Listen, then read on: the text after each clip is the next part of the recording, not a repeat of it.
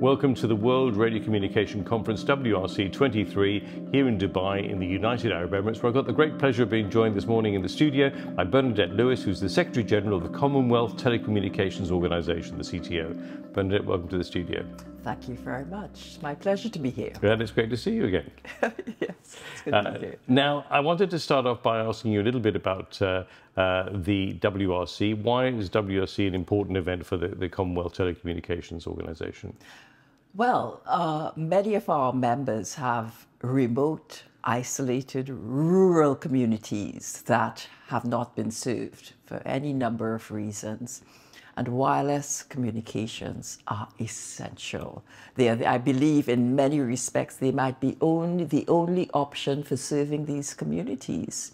So the use of spectrum and the management of spectrum, all of those things are so vital for determining the future of those communities where people have no connectivity.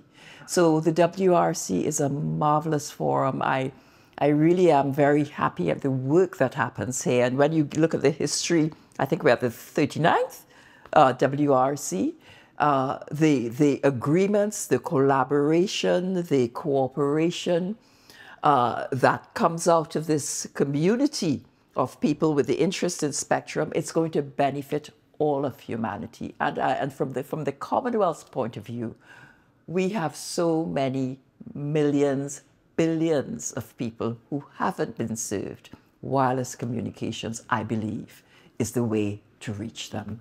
What are the major challenges in terms of uh, connectivity for the members of the Commonwealth? I think one of the challenge, one of the main challenges is, is affordability. Yes.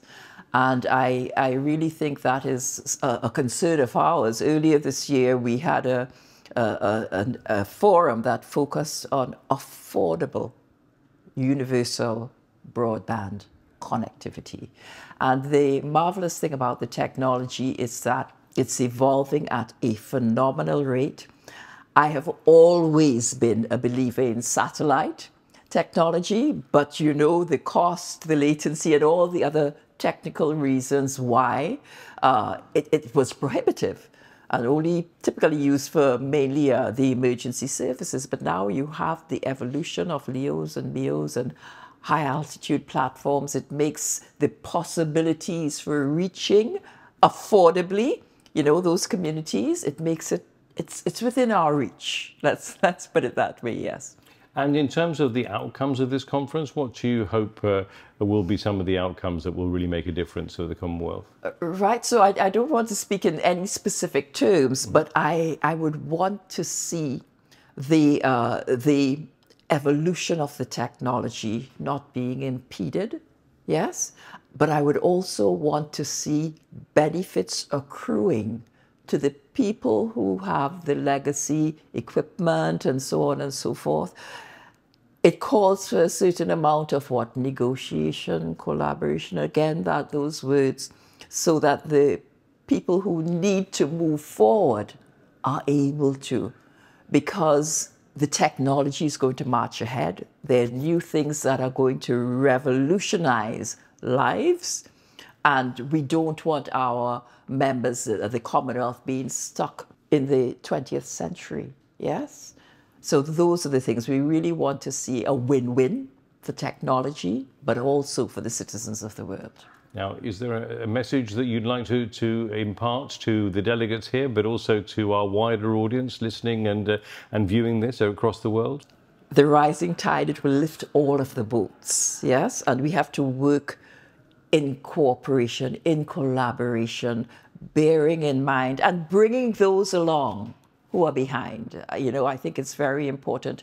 I know uh, from a corporation point, the focus is maybe profits and so on and so forth. But if everybody comes along, if you bring everybody along, the, the, the, the possibilities are even better. So, so that, that is mine, yes. To think, uh, to be in solidarity, to work with those people who are behind. Well, Bernadette, thank you so much for joining me in the studio today and taking the time to be here. And we look forward to catching up with you again very soon, I'm sure. Great. Thank you. Thanks very much indeed.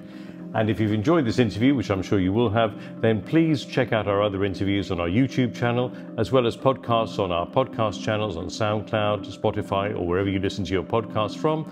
And for further information, why not visit our website at www.itu.int. Thanks for tuning in.